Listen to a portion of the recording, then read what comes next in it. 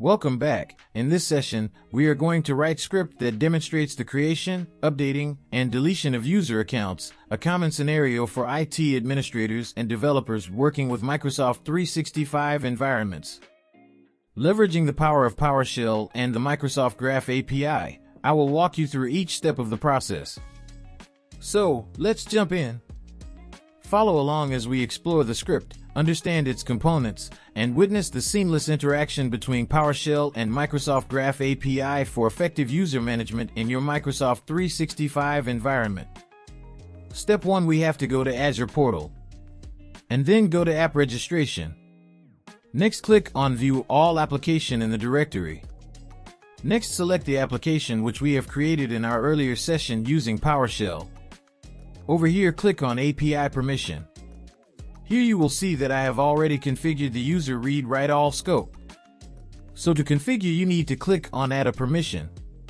Then select Microsoft Graph. This will give you two options. You have to select application permission. This is because we are going to use this permission in upcoming session for writing daemon process.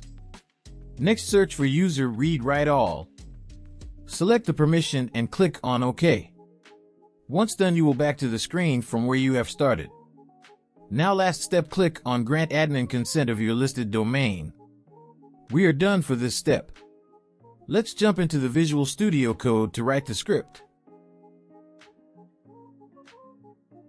So friends, we are into the Visual Studio Code. In this first line, we are importing the Microsoft Graph Users module, which provides functionality related to Microsoft Graph users.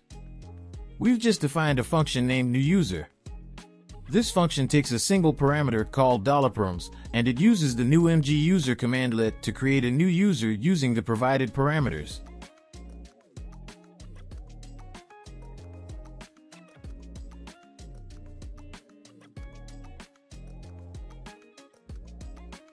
Now we will create function to update user information. Here, we have a function named updateUser that takes parameters representing the user's ID, display name, given name, and surname. It uses the updateMgUser commandlet to update the specified user with the provided information. The removeUser function is defined to delete a user. It takes the user's ID as a parameter and uses the removeMgUser commandlet to delete that user.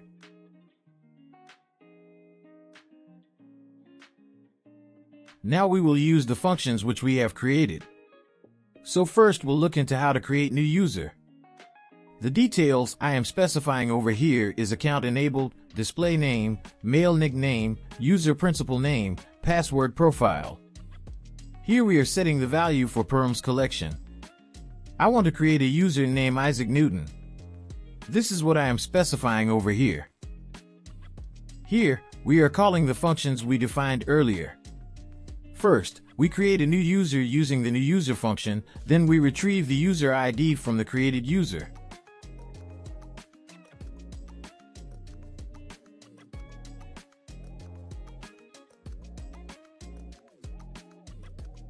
Next, we update the user's information using the updateUser function. While calling this function, we need to specify the value which we want to update. For this example, I am updating display name, given name, and surname.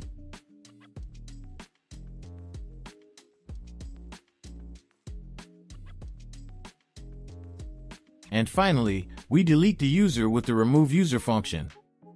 Here we specify the user ID of the user which we want to delete. Now let's execute each of the examples. We will start with creating a new user, but before that I will show you the current active user where our new user Isaac Newton is not existing. So let's look into admin portal of M365. So friends, we are into the M365 admin portal and over here we need click on users and select active users. These are users currently we are having in our tenant. So now let's proceed to Visual Studio Code and run the create functionality and then we will come back and verify. So now let's proceed to Visual Studio Code and run the create functionality and then we will come back and verify. Now we are into the Visual Studio Code and before executing. Let's connect Microsoft Graph with ConnectMG Graph. Now select line 1 and 2 right click Run Selection. And you will see that it is connected. Now let's load new user function load into the memory. So to load we need to select line number 4 to line number 11. Now right click Run Selection. The function is now loaded into the memory. Now go back to example usage section select line number 35 to line number 55. Right click, Run Selection. Now select the user ID variable and right click and run selection. You will notice that we got ID of the newly created user.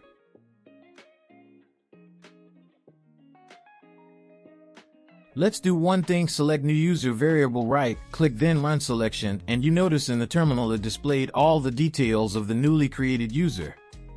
So friends, we have verified new user into terminal. Let's go back to M365 admin portal and verify there. We are into the admin portal. Let's refresh it.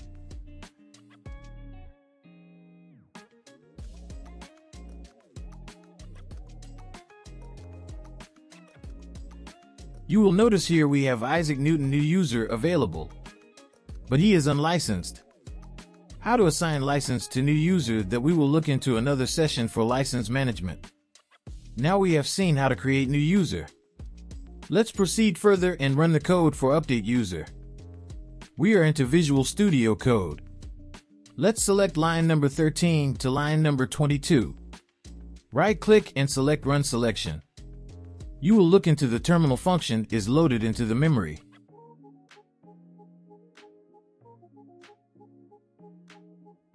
Let's go to example usage section and go to line 58 and you notice here I have appended a text called updated for display name, given name and surname. Now select line number 58 and right click and run selection.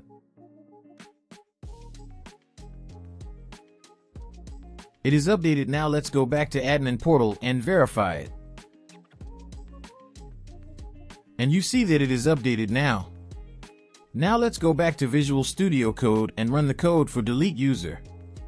We are into the Visual Studio Code. Let's select line number 25 to line number 31. Right click and select Run Selection. Now function is loaded into the memory.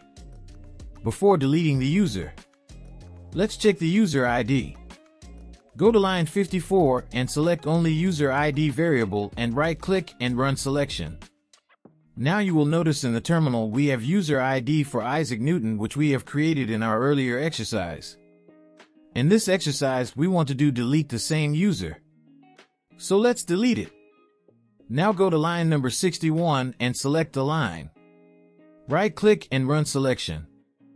You don't see any output into the terminal, but believe me user is deleted now let look into the admin portal user section. You are seeing the user here as the page is not refreshed. Let's reload the page and then verify. You see here we don't have any user with name Isaac Newton now. So guys this is what I wanted to show you in this session. See you in the next session.